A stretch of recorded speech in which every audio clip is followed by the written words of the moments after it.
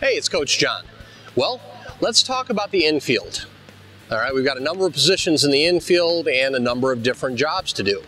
Funny thing is, they all rely on a similar skill set. Okay, we need to do a lot of anticipating, kind of figure out what trajectory the ball's heading in and how we're going to get there to cut it off.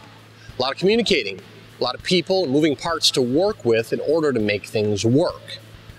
Today we're going to go through some drills that's going to help you understand those angles of movement and the very basic fundamentals of how to field a ball. As simple as it sounds, these same fundamentals are used every day by people who have been playing the game for 10 years or longer.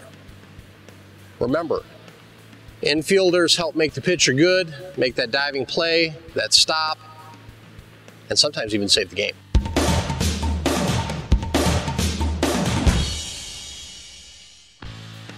Hi everyone, we're lucky enough today, it's Coach John, to have Madeline from Finesse Fast Pitch with us, and she's going to go over some infield drills with us. She's got this pretty cool little thing in her hand here. You don't have to buy one, but I found that these are a pretty good tool in teaching girls how to focus and use their hands um, softly and have a great uh, concentration on fielding the ball. We'll show you how it's worked.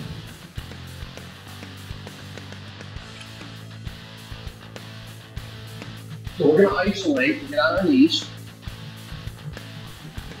And what this does is this allows Madeline to just go ahead and focus on just the fielding aspect with the glove. It takes the upper part of the body off, and it also takes uh, any type of fear. There's nothing wrong with going and hitting your, your daughter a whole bunch of grounders.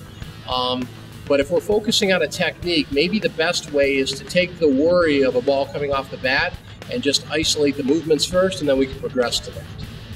So Madeline's going to concentrate on pushing through the ball and drawing back up. Notice she's not absorbing the ball and she's not taking the ball underneath her body. She's pushing through the ball. Again, like all good players, she's focused all the way until she secures the ball.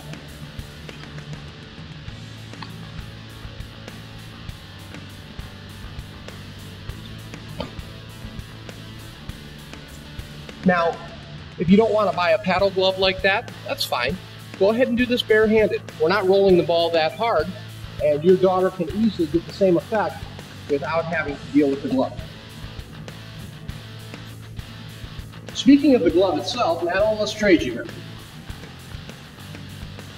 After your ball player gets a little more confident with securing the ball, gets a pair of soft hands, and um, good concentration, now we start working with the actual mitt. So we'll start doing the same drill just to get a feel for depth. Now everything you progress and how hard you roll the ball, how fast and the pace that you go really depends on your individual ball player. You can tailor to their level and their learning expectations.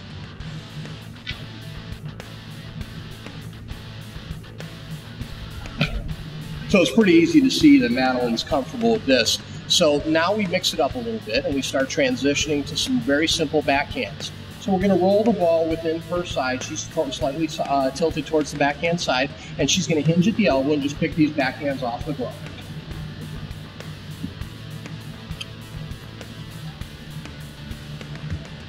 Notice that there's no smush in Madeline's glove when she picks this ball up. She's not trapping the ball, and that's a common thing in young players. They'll smush the glove into the ground with the backhand.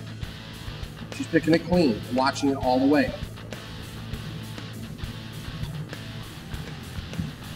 Now Madeline's going to go to the forehand. And it's simple, it's just a swipe.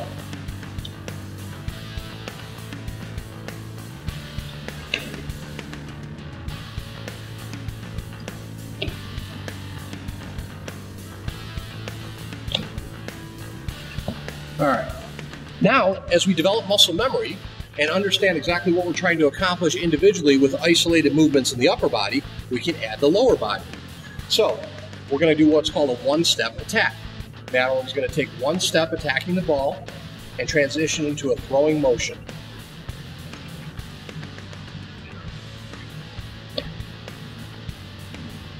Understand how her feet move.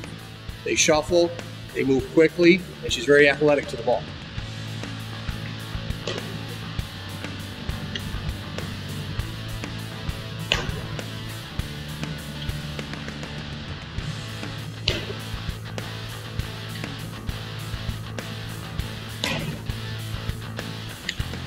So just like we isolated when we were on our knees, now we can move to the backhand and we can move to the forehand.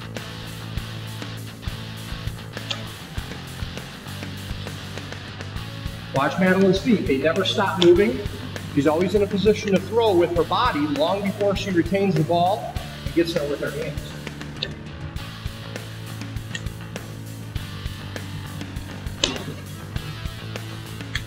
Now let's go to the forehand.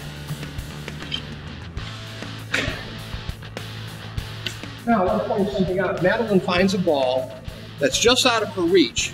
She's going to side shuffle. She's going to make sure that her body gets into position in order to retain that ball and get into a throwing position by shuffling her body over.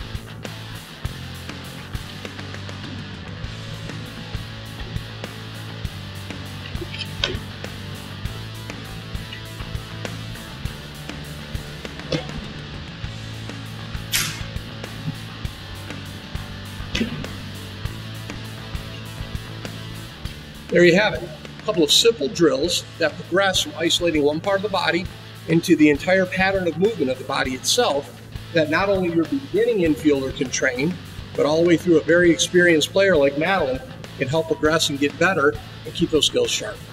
All right, so one of the big things as coaches and trainers that we talk about are patterns of movement. Sounds big and fancy, right?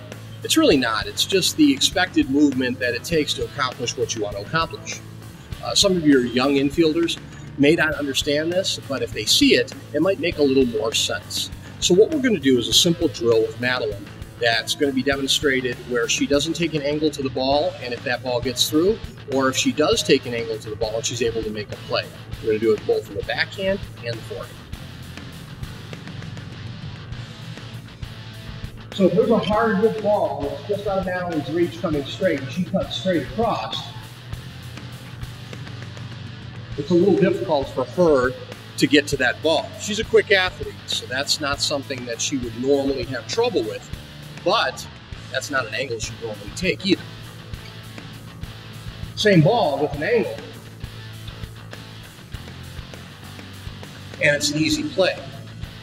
What Madeline did, we talked about earlier about anticipation, is read the ball off the bat, understood the pocket in the infield that it went to, and anticipated exactly where she needed to be to make contact with the ball. Let's try that again.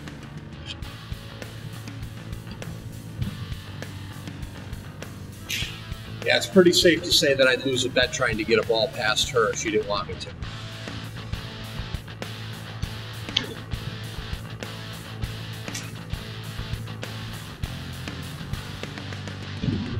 Now, I had Madeline freeze here, and I want to show you why. You fielded a backhand ball, and if you notice, she's retained the weight on the back of her back foot. There's a reason for this. If she stands straight up, doesn't stay low, and goes ahead and reshifts the weight before throwing, she'll have nothing on that throw. She's already deep in the hole, so it's going to be tough to make that throw to first or even from second to first without having some weight shift behind it. So it's really important for your athletes to understand that that angle gives them an opportunity to not just do one thing, field the ball, but get in a proper position to throw so you can execute the out. And that is the whole point. Now let's try the forehand position.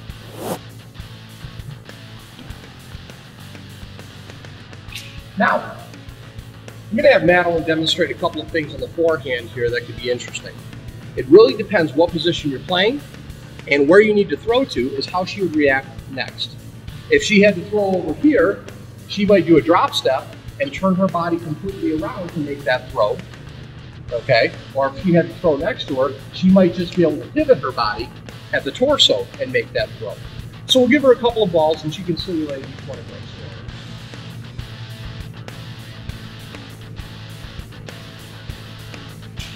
Notice Madeline uses her flexibility to her advantage, even if it's just a short throw to second base, so she can get the ball there without having extra steps, which is wasted movement.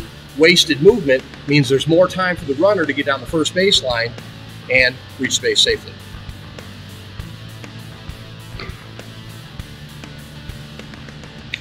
Now we're going to have Madeline demonstrate a drop step. A drop step is useful if you barely get to a ball but you need to shift weight and direction quickly in order to make a play.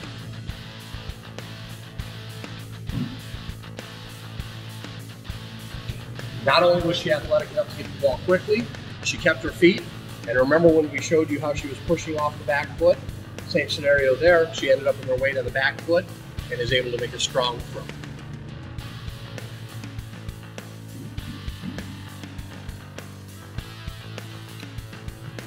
All right, I want to thank Madeline for coming out today. And again, some of these drills are very simple, but most athletes throughout the infield and throughout softball use simple, consistent drills to become better each day. They don't have to be complicated. All you have to do is put in. I hope you enjoyed this latest video from K2 Mentoring. If you did, please make sure you hit the like button and of course share it with your friends and teammates. Now, don't forget to subscribe so you don't miss out on our next great video. And again, thanks for training with us. Enjoy and keep working hard.